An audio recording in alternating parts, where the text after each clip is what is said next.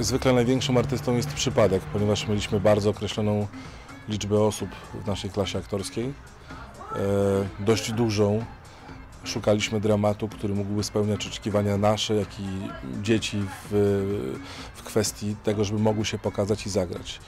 E, Traf padł na Wesele Wyspiańskiego, a właściwie na jego pierwszy akt. Coś tam panie w polityce?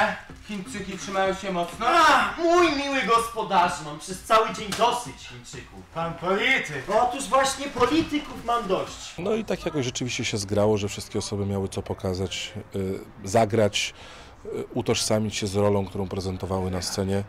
Nazwaliśmy to roboczo Etiuda z Wesela Wycięta y, i tak właśnie powstał mini spektakl 40-parominutowy w wykonaniu uczniów klas trzecich Liceum Filmowego w Warszawie.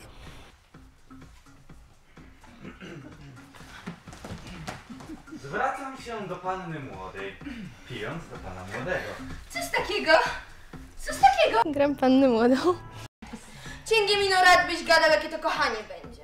Dziewczyna, która grała wcześniej pannę młodą, nie mogła, dlatego weszłam jakby na dublerkę z drugiej klasy. No i już zostałam do końca. Taki stanie nasyceniec? Nigdy syty, nigdy zadość. Tego to już dla mnie. Ja e, w tym spektaklu gram e, chochoła. Tam wam mało, tu wam mało. I od co? Z nas pozostało. Ta atmosfera pracy, ta atmosfera energii, tej, tej kreatywności jest, no przynajmniej dla mnie jest czymś uruchamiającym i dającym jak najbardziej motor do działania. Może któryś z panów zechce? Z nikim z panów tańczyć nie chce. To jest coś niesamowitego, że poznawanie ludzi i przede wszystkim wspólne e, spędzanie czasu, jak można się poznać, jak można poznać zachowania innych ludzi i na scenie, i poza sceną. Jak się ludzie zmieniają, to jest coś, czego nie da się opisać. Jeszcze będę tańczyć z Jackiem. Są to osoby niepełnoletnie, w związku z tym trochę inne podejście trzeba mieć do licealistów, a inne do studentów. Trochę inne środki wyrazu w, kontekście dotarcia do nich, mobilizowania i tak dalej. Trzeba być bardziej pobłażliwym, raczej jak starszy brat czy tata, niż jak profesor, który każe metodą kija i marchewki. W połowie czerwca zdaję do szkoły teatralnej.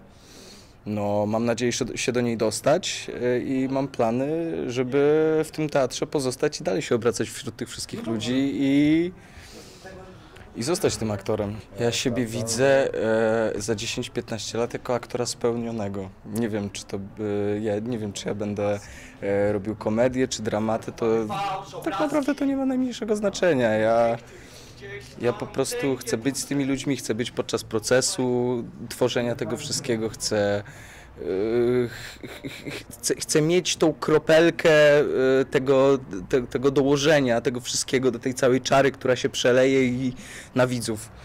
Więc dla mnie nie ma znaczenia, czy komedia, czy, czy, czy dramat, ja, ja po prostu chcę grać. Mam swoje mistrzynie, panią Magdalenę Cielecką i panią Stenkę. A to jest tak moje. No i oczywiście marzę o wystąpieniu w spektaklu Werlikowskiego albo Grzegorza Jerzyny, ale to już w przyszłości.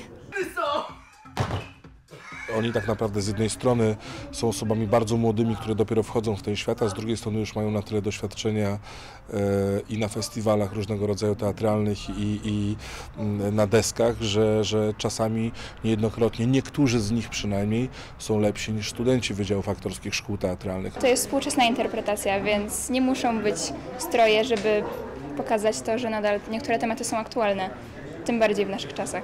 Na przykład zagubienie, pewna niepewność co do, dotycząca swojej przyszłości i też pewnego rodzaju konflikty między ludźmi.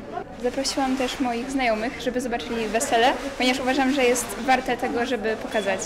Więc po prostu zaprosiłam ich tutaj, żeby zobaczyli i sami ocenili, czy warto, czy nie, bo moim zdaniem warto.